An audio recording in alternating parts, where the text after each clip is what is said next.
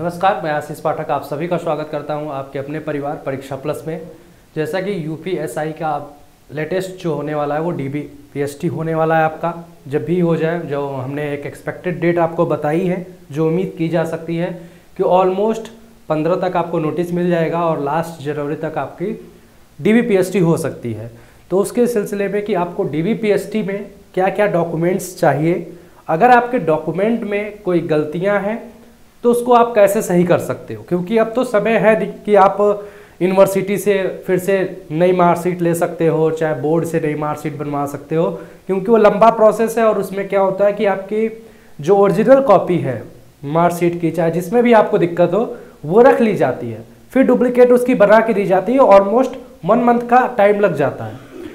तो कभी भी कुछ भी हो सकता है तो इस इस बात को ज़रूर ध्यान रखिएगा कि यूनिवर्सिटी जाके चाहे यूपी बोर्ड चाहे सीबीएसई से आप जिससे भी पढ़े हो टेंथ ट्वेल्थ वहाँ पे जाने के बाद आप लोग पहले पूछ लीजिएगा कि कब तक आ सकता है या ओरिजिनल कॉपी जमा हो रही कि नहीं हो रही है। ठीक है? तो आज हम बात करेंगे कि डॉक्यूमेंट्स क्या क्या आपको लगेंगे यूपीएसआई के डॉक्यूमेंट्स वेरिफिकेशन में। ठीक है? तो इस बात को ध्यान रखिएगा। सबसे पहले कि आप यहाँ पर देखिए टेंथ और ट्वेल्थ टेंथ और ट्वेल्थ की मार्कशीट आपकी होनी चाहिए। और टेंथ ट्वेल्थ के मार्कशीट के अकॉर्डिंग ही आप फॉर्म में अपना नाम, अपने पिताजी का नाम और मदर्स नेम भरते हैं। तो उसमें आपके जो नेम है, चाहे फादर नेम, चाहे मदर नेम, चाहे जो भी है, वो एज इट इज़ जो एप्लीकेशन फॉर्म में भरे हैं, वही होना चाहिए। ठीक है, अगर कोई गलती है, मान लो टेंथ में अलग नाम है, ट्वेल्थ में अलग हो गया है, कुछ भी, जैसे किसी में स्पेस हो जाता है, रविंद्र कुमार एक में हो गया, चाहे कुमार ही हट गया तो ये चीज़ों को ध्यान रखिए, उसके लिए आप एफिडेविट बनवा सकते हैं। ठीक है? उसके लिए आप यहाँ पर बोर्ड जाके अभी तुरंत उसे सही कराने की कोशिश ना करें, क्योंकि आपके पास समय कम बचे हुए हैं। तो उसके लिए एफिडेविट लग जाएगा उसमें। और जो खासकर जो गर्ल्स हैं फीमेल हैं, उनमें क्या होता है कि आपका नाम के आगे कुमारी लगा होता है तो उसके लिए परेशान होते हैं। बाद में ग्रेजुएशन में वो हट जाता है। ठीक है? तो उसके लिए आपको परेशान नहीं होना है। वहाँ टाइटल कुछ भी हो, मिस्टर हो, कुमारी हो, श्रीमान कुछ भी हो, उससे कोई इशू नहीं आएगा। उसके लिए भी एफिडेविट नहीं लगवाना है। ये ध्यान रखना। तो टेंथ ट्वेल्थ की मार्कशीट होनी चाहिए। सर्टिफिकेट आपका होना चाहिए, जिसे हम सनद कहते हैं। 2009 के बाद वो हट गया था, खासकर टेंथ में। ट्वेल्थ में आता था। तो मार्कशीट और सर्टिफिकेट दोनों होना चाहिए। ग्रेजुएशन अगर आपने ईयरली मतलब ईयर वाइज किया है, ठीक है तो प्रत्येक ईयर का, तीन साल का वो आपके पास मार्कशीट होना चाहिए। साथ ही साथ, अगर सेमेस्टर वाइज है आपका यूनिवर्सिटी तो सेमेस्टर वाइज आपके पास मार्कशीट होना चाहिए। अगर इसमें कोई इशू है, चाहे नाम में, चाहे डीओबी में, चाहे फादर नेम चाहे मदर नेम जो हाई स्कूल से डिफरेंस क्रिएट कर रहा है तो आप एफिडेबा एफिडेविट लगवाएँगे। एक ही एफिडेविट बनवाइएगा। जिस जिस में गलतियाँ होंगी, वो वहाँ पे मेंशन कर दीजिएगा। ठीक है? उसके बाद से डिग्री। आपने ग्रेजुएशन फाइनल कर लिया तो आपके पास ओरिजिनल डिग्री होनी चाहिए, जिसे हम सर्टिफिकेट भी बोलते हैं।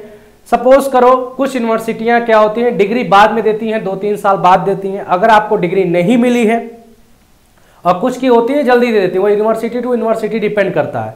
तो अगर आपको डिग्री नहीं मिली है तो आप प्रोविजनल डिग्री निकलवा सकते हो अपनी यूनिवर्सिटी से। ये तुरंत बन जाता है, ठीक है? तो ऐसा मत करना कि नहीं, मेरे पास डिग्री भी नहीं है, प्रोविजनल डिग्री भी नहीं है। कोई एक लेके जाओ, अगर ओरिजिनल डिग्री नहीं प्रोविजनल लेके जाओ, ठीक है? मार्कशीट तो आपका होना ही चाहिए, वो ध्यान रखिएगा।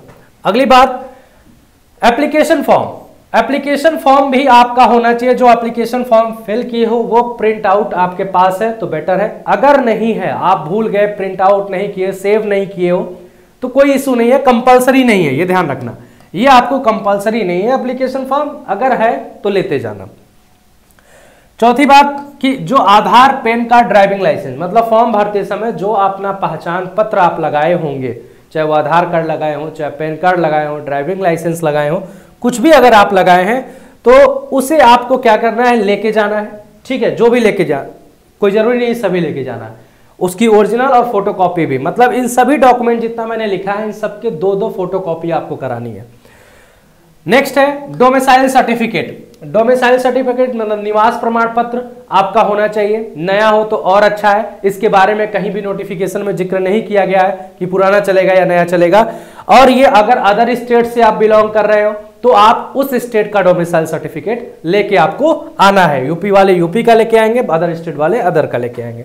तो डोमिसाइल सर्टिफिकेट होना होना ज़रूरी है। इसके पुराना है तो कोई इशू नहीं है, क्योंकि कहीं मेंशन नहीं है। न्यू है तो और बेटर है अच्छा है आपके लिए। उसके बाद से कास्ट सर्टिफिकेट की बात कर लेते हैं। जनरल के लिए कोई कास्ट सर्टिफिकेट नहीं चाहिए। ओबीसी के लिए चाहिए तो ओबीसी का कास्ट सर्टिफिकेट जो होगा, वो 1 अप्रैल 2020 इस बात को ध्यान रखना। अगर आपका 1 अप्रैल 2020 से लेकर जो फॉर्म की लास्ट डेट थी, तीन चार 2021 तक, के बीच में है, तभी वैलिड माना जाएगा। अगर इससे पहले का है, मार्च का है सपोज़ करिए 20 मार्च 2020 का है तो वो वैलिड नहीं माना जाएगा। चाहे वो सेंट्रल का हो चाहे आपका स्टेट का हो, ये ध्यान ध्यान रखिएगा कि ओबीसी कास्ट सर्टिफिकेट आपका तभी वैलिड होगा जब 1 अप्रैल 2020 से 30 चार 2021 के बीच में बना होगा। Same as it is EWS certificate के साथ भी है। अगर इसमें कोई भी नाम आपका गलत है तो उससे कोई इशू नहीं है कि आपका जो फादर नेम चाहे मदर नेम में कोई दिक्कत आ गई है कास्ट सर्टिफिकेट में तो कोई इशू नहीं, आप एफिडेविट बनवा के उसे सही करा सकते हैं।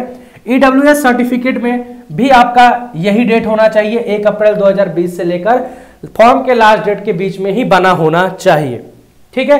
एस सी सर्टिफिकेट अगर इस कास्ट से बिलोंग कर रहे हैं तो इसके लिए कोई स्पेसिफाइड डेट नहीं दिया है। ये पुराना भी चल सकता है, नया है तो और अच्छा है आपके लिए। ठीक है? उसके बाद से अगर आप किसी सरकारी सेवा में हैं, किसी जॉब में हैं गवर्नमेंट जॉब में हैं तो वहाँ से आपको एक एनओसी नॉन ऑब्जेक्शन सर्टिफिकेट आपको लेना पड़ेगा। ठीक है? ये आप अपने विभाग से ले सकते हैं। दसवा पॉइंट है एक्स सर्विसमैन का या स्वतंत्रता संग्राम सेनानी आश्रित का। अगर आप एक्स सर्विसमैन है, कहीं सर्विस कर चुके हैं, ठीक है? तो वहाँ से आपको एक प्रमाण पत्र मिलता है। आपके कमांडेंट के द्वारा और स्वतंत्रता संग्राम सेनानी से आप बिलोंग करते हैं तो भी प्रमाण पत्र होता है तो उसको आपको लेके जाना होगा। और लास्ट में मैंने एक एफिडेविट लिखा है ये इसलिए लिखा है क्योंकि जितनी भी गलतियाँ आपको दिखती हैं, कोई भी छोटी मोटी उसको आप एफिडेविट जाइएगा, ठीक है, वहाँ पर दस रुपए की नोटरी लगाइएगा, उस पर आप मेंशन कर दीजिएगा कि इस मार्कशीट में ये गलती है, इसमें ये गलती है, इसमें ये गलती है तो कोई इशू आपको नहीं क्रिएट होगा। बाद में आप उसे सही करा लीजिएगा कि बाकी आगे कभी आपको फ्यूचर में कोई दिक्कत ना हो। बाकी फॉर्म भरते समय जो आपने फ़ोटो यूज़ किया, उसी का दस जो है कॉपी आप ले लीजिएगा। और जितने भी मैंने डॉक्यूमेंट बताए, जो आप पर एप्लीकेबल होगा। अब जैसे ईडब्ल्यू e वाला के साथ एक चीज़ और ज़रूरी है कि आपकी इनकम सर्टिफिकेट भी होना चाहिए। क्या होना चाहिए? इनकम सर्टिफिकेट ये भी लेटेस्ट होना चाहिए, पुराना नहीं चलेगा, ये ध्यान रखिएगा। तो ईडब्ल्यू e सर्टिफिकेट वालों के लिए इनकम सर्टिफिकेट भी ज़रूरी है और जो ईडब्ल्यू e का सर्टिफिकेट है, वो भी ज़रूरी है। ठीक है? तो इतने जो डॉक्यूमेंट्स हैं आपके टोटल मैंने 10 11 12 ये एफिडेविट छोड़ दो, ये तो मान लो आपको लेके जाना ही है, जहाँ गलती होंगी। जो भी गलतियाँ हैं, आपके सर्टिफिकेट में है, आपके मार्कशीट में चाहे ग्रेजुएशन हुआ, चाहे टेंथ हुआ, चाहे ट्वेल्थ हुआ, ठीक है? चाहे आपके जो फॉर्म आपने फिल किया, उसमें कोई गलती हो गई है, नाम लिखने में, अपने नाम लिखने में, या फादर नेम में, चाहे रोल नंबर में टेंथ या ट्वेल्थ के, जो भी गलतियाँ हो, उसको आप एफिडेविट लगा के सही कर सकते हो, मान्य होगा, उसमें कोई इशू आपके सामने नहीं आएगा। अब यहाँ पे देख लीजिए कि जितने भी डॉक्यूमेंट है दो फ़ोटो कॉपी इनकी लेके जाना। वैसे लगेगा सिंगल लेकिन मैं बोल दे रहा हूँ कि दो ले फ़ोटो कॉपी करा लेना। और दोनों को हो सके तो एक तो आपको लगेगा ही तो उससे तो अटेस्टेड कराना ही पड़ेगा। हो सके तो दोनों करा लेना attested by gazetted officer gazetted officer से किसी स्कूल के प्रिंसिपल से चाहे मेडिकल हाउस में ऑफिसर में जाओ उनसे आप इसे आ, क्या कर सकते हो? अटेस्टेड करा सकते हो और वही आपको डॉक्यूमेंट लेके जाना है।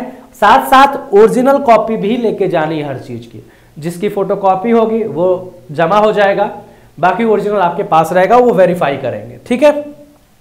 अगर आपके पास इनमें से कोई प्रेफरेंस है मतलब आपने ये कुछ सर्टिफिकेट कर रखा है तो आपको जॉब में प्रेफरेंस मिलेगा। मतलब अगर सेम एज इट नंबर पे आप आते हो दो कैंडिडेट तो उसमें देखा जाएगा कि आपने एनसीसी बी सर्टिफिकेट किया है, या ओ लेवल किया है, या सेना में दो वर्ष तक कार्य किया है।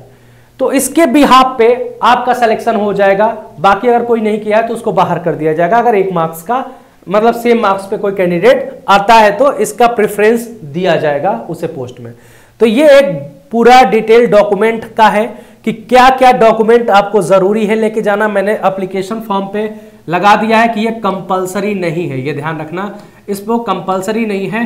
आप इसे ले जा भी सकते हो, अगर नहीं प्रिंट लिए हो, नहीं सेव किए हो तो कोई इशू नहीं है एज इट इज़ ठीक है? बाकी जो भी आपकी गलतियाँ मैं बार बार यही दोहरा रहा हूँ, चाहे आपके नाम में हो, चाहे फादर नेम में हो, चाहे मदर्स नेम में हो, चाहे फॉर्म में कोई फॉर्म भरते समय त्रुटि हो गई हो तो वो उसके लिए आप एफिडेविट दस रुपए की नोटरी लगा के बनवाइएगा, कोई इशू आपके सामने नहीं आएगा। ठीक है? तो ये आपके डॉक्यूमेंट से रिलेटेड हो गया। आप इसका जो है एक तरह से स्क्रीनशॉट ले सकते हो कि क्या क्या ज़रूरी है आपको लिए। तो वो चीज़ें यहाँ पे मैंने लिख दिया है। स्क्रीनशॉट ले लीजिए। बाकी आपको कोई भी इशू आ रही है अगर डॉक्यूमेंट से रिलेटेड तो आप इस वीडियो के डिस्क्रिप्शन बॉक्स में जो है लिंक दी, दी गई है। वहाँ से आप टेलीग्राम ग्रुप ज्वाइन कर लीजिए और हमसे पर्सनली कंसल्ट कर सकते हैं, नंबर दिया हुआ है, वहाँ से कंसल्ट कर सकते हैं, और भी कोई प्रॉब्लम है तो वीडियो के कमेंट में आप अपनी प्रॉब्लम हमें बता सकते हैं। तो चलिए इसी के साथ मैं आप सभी सुविधा लेता हूँ, आप सभी का बहुत बहुत धन्यवाद।